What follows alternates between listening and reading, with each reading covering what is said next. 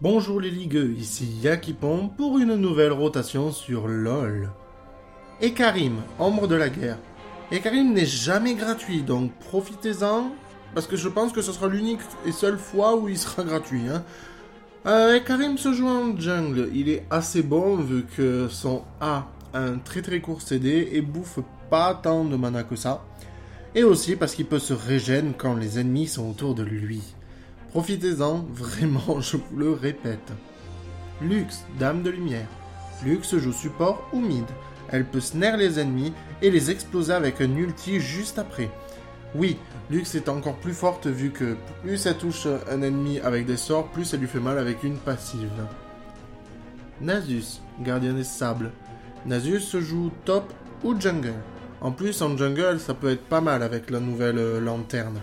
Plus il tape de grosses bires, plus ça lui donne de bonus d'attaque sur son A, et avec la lanterne, ça lui donne encore plus de bonus sur les monstres, donc ça peut être euh, assez vite pour creeper. Nidali, chasseresse bestiale. Nidali se joue mid, top ou en support. Oui. En fait, le pouvoir de ce personnage, c'est de se transformer en un gros gros félin qui peut taper mais très très fort, malheureusement au corps à corps. Oui, parce que Nidali de base est un personnage à distance, vu qu'elle balance des lances. Plus la lance met du temps à toucher l'ennemi, plus elle fera mal. Sejuani, colère de l'hiver. Sejuani se joue jungle, et elle est vraiment très forte, mais quand même compliquée à jouer, Sejuani. Il faut quand même savoir viser, parce que son ulti, si vous le paumez, c'est fini. Et oui, Sejuani n'est pas forcément, euh, on va dire, euh, OP, mais bon, si elle pose son ulti, c'est gagné. C'est tout. Elle peut freeze les gens, et puis ils peuvent plus marcher, ils sont ralentis, et donc toute votre équipe derrière peut les ramasser euh, petit petit, euh, comme les champignons. Sivir, vierge martiale. Sivir est un Adekari, et elle est ultra balèze. Et oui, en plus, avec son boomerang, elle l'envoie, et il revient et s'enlève toute la vie des ennemis. Oui, Sivir n'a pas forcément besoin de beaucoup de vitesse d'attaque. Si vous lui mettez de gros dégâts, je pense que ça suffira. Vayne, chasseur nocturne. Contrairement à Sivir, même si c'est un Adekari, Vayne a besoin de vitesse d'attaque, elle, vu qu'elle doit faire proc une de ses passives. C'est-à-dire, plus elle tape un ennemi, et au bout du troisième coup, elle lui fait des dégâts qui ignorent toutes ses résistances. Donc, euh, il faut le dire, Vayne, c'est un casseur de tank et même une, casseur casseuse de couilles. Hein. Voilà. Vi, cogne de Piltover. Vi se joue jungle et parfois top.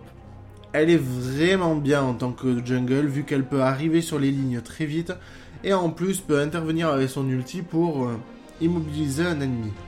En plus de ça, elle fait mal de base vu que à peu près comme euh, Vayne, elle peut faire de gros dégâts en ignorant et réduisant les faiblesses ennemies.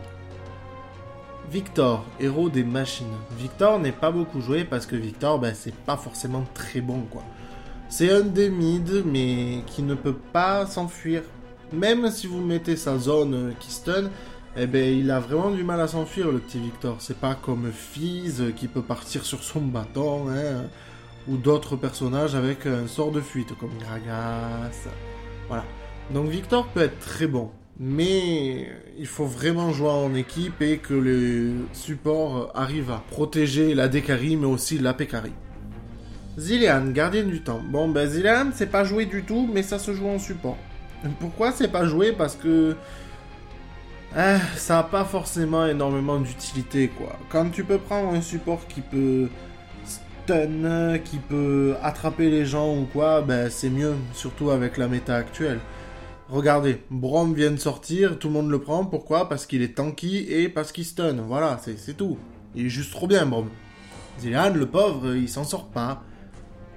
Et voilà, je vous donne rendez-vous mardi prochain pour une nouvelle rotation, samedi pour du South Park qui me fait toujours autant rire, dimanche pour du tout qui me fait toujours autant pleurer, N'oubliez pas les pages Facebook et YouTube et passez une bonne semaine.